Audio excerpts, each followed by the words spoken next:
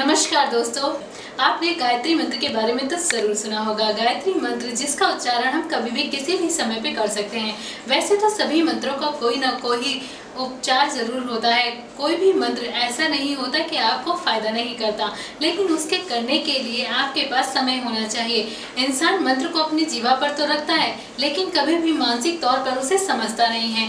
उसमें से है गायत्री मंत्र। गायत्री मंत्र का उच्चारण हम कभी भी कर सकते हैं, लेकिन गायत्री मंत्र का उच्चारण यदि हम सूर्यास्त से पहले करते हैं तो उसके बहुत ज़्यादा बेनिफिट हैं। वैसे गायत्री मंत्र सभी जानते हैं। आज मैं आपको उसी के बारे में बता रही हूँ कि गायत्री मंत्र के क्या फ़ायदे हैं। जो गायत्री मंत्र हमारे कुछ शब्दों से मिलकर बना है, जैसे कि ओम भूर भुवस्सह तत्सवितुर वरेण्यम भर्गो देवस्य धीमहि धियो यो नः प्रचोदयात। ये आपका गायत्री मंत्र है। लेकिन हिंदू धर्म में यदि इस गायत्री मंत्र का उच्चारण आप सुबह सुबह करते हैं तो इसके बहुत सारे बेनिफिट हैं और इस बेनिफिट के साथ आप अपने जीवन में हर सफलता को प्राप्त कर सकते हैं। गायत्री मंत्र का उच्चारण यदि आप माला के साथ करते हैं, यानी आप माला के साथ तर्जनी उंगली को फेरते हुए गायत्री मंत्र का उच्चारण करते हैं तो उसके भी आपके जीवन में बहुत अच्छे फ़ायदे होते हैं।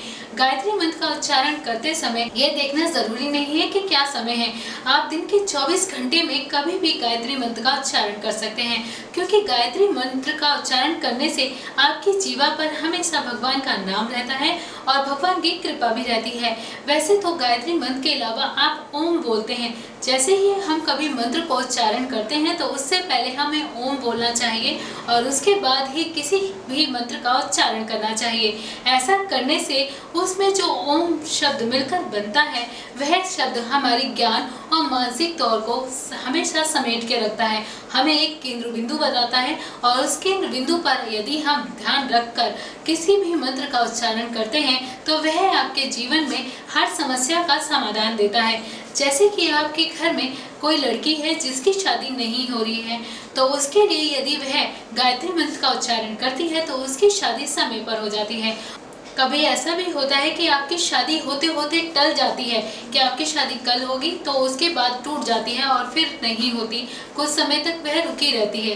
तो ऐसा भी अगर होता है तो उसके लिए भी आप गायत्री मंत्र का उच्चारण करें। ऐसा करने से आपके जीवन में जितनी भी समस्याएँ हैं वह दूर हो जाएँगी।